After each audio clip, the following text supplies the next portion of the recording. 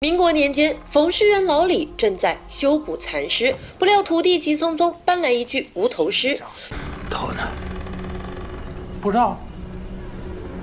就说让咱们给安个假头，要用最好的材料。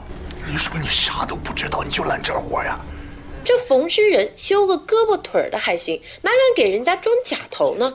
老李说什么都不肯接这活儿。可徒弟张全知道他儿子娶媳妇儿急用钱，我头发都给你准备好了，你用竹片个假头就行呗。老李心一横。不就是个头吗？我接。他拿竹子片做了模型，再把猪皮绷在上面，罩好假发，一个浑圆的假人头就做好了。老李正准备往脖子上缝呢，突然阴风阵阵，三条野狗守在门前，吃了魂儿一样的狂吠。我让你叫。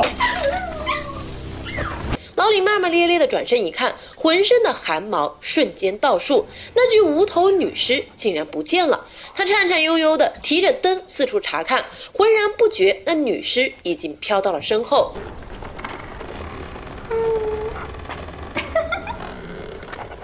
老爷子僵着脖子不敢回头，吓得满脑门子都是冷汗。下一秒，他的惨叫响彻夜空。自打这一天起，老李就患了重病，三四天了，一直在念叨什么无头女尸。女儿请了神婆给他驱邪，往老李口中灌了一大碗黑狗血。他瘫在椅子上不停抽搐，两腿一蹬，竟然当场咽了气。为什么？为什么？为什么？为什么？为什么？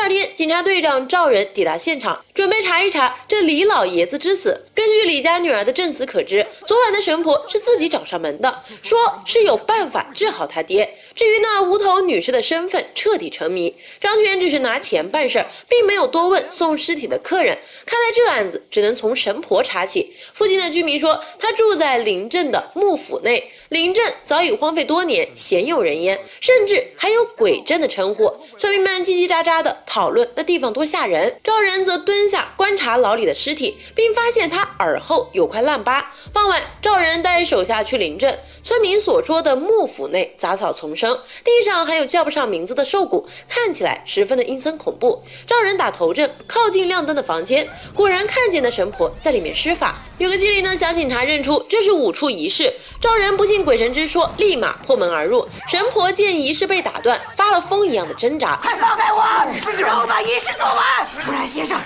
他会杀了我们的！话音刚落，有个莽夫冲进来袭警，他还喊神婆大小姐。赵仁让手下捉拿二人，然后抄走仪式上的符咒。除此之外，无头女尸也被寻回，但是还没有找到她的脑袋。赵仁审问神婆后，得知是他将女尸交给张全，想借老李之手逢尸辟邪。那个女尸就是邪煞。是邪煞杀死了李大胆。赵仁不信神婆的说法，老李的验尸报告已出，他死于头骨破裂，而且体内有不明的黑色毒素，八成就是神婆在黑狗血里下毒杀人。赵仁让他交代女士的身份，神婆却扑过来发疯，警察赶紧把他拖下去关押。随后，赵仁审问袭警的莽夫刘三，并从他的口中得知，这神婆呀，本是幕府家的大小姐，可惜家道中落，老爷夫人相继去世，仆人刘三不得不返乡种田。等再次回到镇上，才发现物是人非了。他可怜小姐疯疯癫癫，时不时的给对方送几口饭吃，其余的也问不出什么了。众人顶着一脑袋官司回家，女儿小梦过来逗他开心。这小女孩聪颖可爱，可惜是个哑巴。妻子听闻他在查临镇相关的案子，急。忙嘱咐赵仁万事小心，外人都说那鬼镇很邪乎。第二天一早，赵仁赶回警局听报告，法医说女尸的年龄大约在三十，致命伤在脖颈，应该是被人一刀割了头。至于具体的死亡时间，实在很难判断，因为正常人死后不出数日就会显现尸斑，可这女尸身上干干净净，一点痕迹都没有。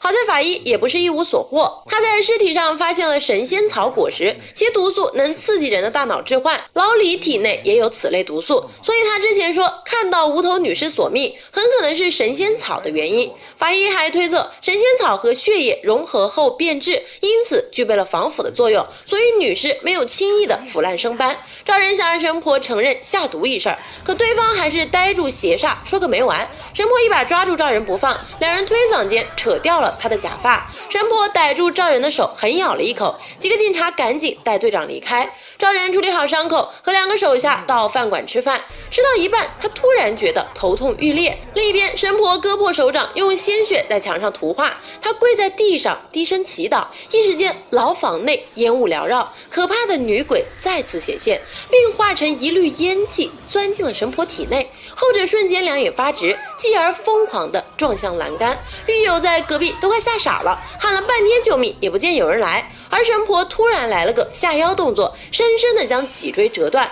与此同时，赵仁喝得烂醉，他跌跌撞撞的往家赶，丝毫没发现掉在后方的女鬼。妻子阿荣见赵仁醉得不轻，赶紧扶丈夫上楼。赵仁手无足蹈，胡乱的挣扎，误将手上的血抹了一镜子。阿荣想拿手帕把血擦干净，不料头顶的电灯闪烁不停，好在扑闪了一会儿，又恢复正常了。阿荣回头继续的擦镜子，结果看到镜中有个人影，他不安的巡视四周，并并没有发现异常，谁知转头一看，那无头女人离得更近了。阿荣僵硬地抬起头确认，看到一女鬼趴在镜子上方。第二天，赵仁起床下楼，看到镜子被人遮住了。阿荣害怕丈夫担心，也没有说明昨晚的情况。赵仁吃完饭后就去警局上班，这才得知神婆惨死狱中一事。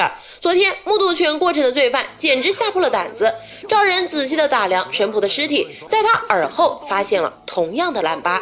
经过接二连三的意外，小警察刘勇提议，要不以畏罪自杀结案得了。免得人多嘴杂。就在这时，小梦跟着妈妈过来送饭了。让人把女儿抱进办公室，几个警察还围着他一直说话。小梦对警察局很好奇，就趁乱溜出去瞎逛。他误打误撞，差点进了验尸房。好在刘勇及时出现，带着小梦去找爸爸。刘勇看到外面的阿荣，脸色突然变得很难看。不过他很快就恢复了正常，还出去跟嫂子打招呼。刘勇递给小梦一块糖，目送母子两人离开。不久后，神婆的验尸结果出来了，她体内果然有大量的神仙草果实，而且法医还发现这种果实可以在人体内寄生，源源不断的繁殖，所以被咬伤的赵人也有可能感染。通过现在的情况可以判断，老李和神婆都是因致幻导致自残而死。如果想研究解毒之法，得先找到神仙草种子，从根本了解它的原始结构才行。与此同时，大胡子警察查到了无头女尸的身份，她是临镇戏班子里的一名青衣，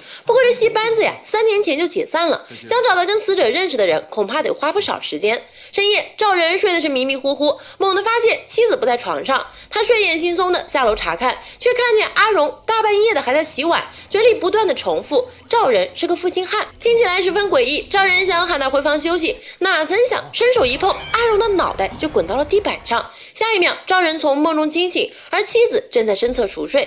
还没等他松口气，门外传来砰砰砰的撞击。声，赵仁循声来到次卧，原来是女儿在用脑袋撞墙。他撩开小小梦的头发一看，发现对方耳后也长了烂疤，这一看就是感染神仙草毒素。夫妻俩赶紧把女儿送进医院。小梦在病床上发狂挣扎，医生想给她打一针镇静剂，结果被一个孩子抢走了针管。小梦挥舞着注射器驱赶护士，紧接着扑向赵仁，眼看针头就要刺向他的面门，赵仁赶紧抱着女儿摔向地面，这才堪堪躲过攻击。而小梦从床底上爬出来，拿着注射器刺向医生、护士，简直就像疯了一样。他扑倒一个护士，张嘴就咬。夫妻俩急忙把小梦拉起来，放到床上。可小女孩下一秒就撑起身子，当场做了一个高难度臀桥。好在她体力耗尽，晕了过去。医生详细检查后，确认是小梦体内的毒素使她处于极度亢奋的状态。问题是，小孩子的身体撑不住长时间的亢奋，只有找到解毒的方法，小梦才有一线生机。赵仁闻言非常自责，一定是他不小心才把神仙草的毒素带回了家。接下来的几天，赵仁废寝忘食，希望赶紧找出解毒之法。他劳累过度，以至于噩梦缠身，甚至梦见小梦恢复了健康，跑过来跟自己玩红绳。可玩着玩着，女儿竟然变成无头女尸的模样。赵仁下井后去跟妻子换班，结果发现对方不在病房，他立刻四处的寻找阿荣。突然，不远处传来了唱戏声。只见阿荣化着残妆下楼，一直闹着要回家。赵仁一听，越发的着急，女儿还没好，我们怎么能回家呢？他一把拉住妻子，这才看到阿荣耳后也有疤。赵仁惊慌之下冲回警局，他抓住刘三，不停的逼问，到底去哪里能找到神仙草？刘三是真不知道草在哪，不过他交代了神婆发疯的原因：穆小姐从小娇生惯养，想要什么就一定要拿到。她刚成年不久，就看上了一个有妇之夫，后来这男人的妻子就莫名其妙的被人杀了，穆小姐就趁机出手，让他入赘自家，还改名为穆元。谁也没想到，这穷小子不是个善茬。老爷死后，他大权在握，整日对穆小姐非打即骂，久而久之，小姐就变得神神叨叨的，非说幕府有不干净的东西。她不知道从哪儿学的歪门邪术，整天窝在家里做法。结果有一次点着了布帘，她虽大难不死，但容貌全毁。墓园自此消失的无影无踪。据刘三回忆，墓园的前妻青儿是个戏子，还是镇上有名的青衣，两人青梅竹马，感情非常好。三年前的元宵节，青儿刚演出结束，就在暗岗里被人砍了头。看到这里，不难猜到，青儿就是那个无头女尸。正所谓不做亏心事，不怕鬼敲门。穆小姐这么害怕冤魂索命，很可能是做贼心虚，说不定就是她买凶杀人。不过这桩案子三年前就结了。当年大胡子跟刘勇都在临镇当差，三人前往临镇的废警署，成功找到青儿的档案。谁知结案人竟然是刘勇。赵仁急忙的让他回想一下青儿一案中有没有关于神仙草的相关记载。刘勇记得那只是一起简单的凶杀案，凶手还疯疯癫癫的，经常徘徊在青儿家门口。最关键的是，作案工具就在他家，所以结案结得非常快。赵仁一听非常失落。就在这时，一张照片划出了档案，上面的人分明就是阿荣。他赶紧跑回家找妻子，结果发现屋里一片狼藉。阿荣披着戏服缓缓下楼，他坐在椅子上一言不发。突然，一颗毛茸茸的脑袋从暗处滚远。赵仁回身查看的功夫，阿荣就离开了椅子。此时他弯着腰，不知道在找什么。赵仁追过去询问情况，阿荣猛地抬起身子，而他脖子以上居然是空的。赵仁吓得瘫倒在地，无头女人想伸手抓他的腿，赵仁连滚带爬，拼命跑到二楼。不过那女鬼就跟扫地机器人一样，四肢着地追了上来。他立刻躲到卧室，锁上门。突然听到床底有怪声，赵仁弯腰一看，发现一颗脑袋一咕噜的滚了出来，直接把门撞开了。而门外的无头女捧起这颗头，咔嚓一声放在了脖子上。赵仁想把门锁住，可阿荣变得力大无穷，赵仁根本不是对手。只见阿荣单手就把他提到半空，赵仁挣扎间碰掉了身后的合照。阿荣看到女儿的照片，终于恢复了神智。赵仁抱住昏迷的妻子，忍不住怀疑自己刚才的所见所闻，难道也是中毒后产生的幻觉吗？另一边，大胡子和刘勇回家，前者吐槽天底下竟然有如此相似的人，青儿和嫂子简直共用一张脸。大胡子说着说着，突然觉得青儿档案上的凶器很熟悉，他好像在什么地方见过。话音刚落，刘勇就把大胡子扯进小巷，并且一刀子刺进对方的要害。这刘勇果然有问题。第二天，大胡子的尸体被发现，杀人凶器还扔在一边，而且就是杀害青儿那一把。赵仁仔细回想今日的细节，突然意识到刘勇从一开始就不想让他细查无头女尸案。赵仁认为，当年穆小姐雇的凶手就是刘勇，他带人闯进了刘勇家，看到院子里布置着法坛，难怪刘勇之前一眼就认出了五处仪式，原来他也懂这些东西。赵仁从神像后面摸到了一本册子，上面详细记录着做法的仪式。其他警察也搜到了神仙草草种，根据册子可知，刘勇想用中过草毒的女人效仿青儿割下头，完成所谓的封煞仪式。赵仁心底一沉，因为阿荣正好符合条件，他马上去册中标记的乱葬岗找人，果然看到晕倒的阿荣。赵仁心急之间被刘勇敲晕，等再次醒来，就发现自己被吊在树上，而刘勇就在前方施法。他果然就是幕后黑手，小梦中毒也是刘勇在堂中下毒。他害死神婆大胡子是怕自己暴露。赵仁想说服刘勇收手，世界上根本就没有邪煞，现在自首就是最好的选择。可刘勇早已走火入魔。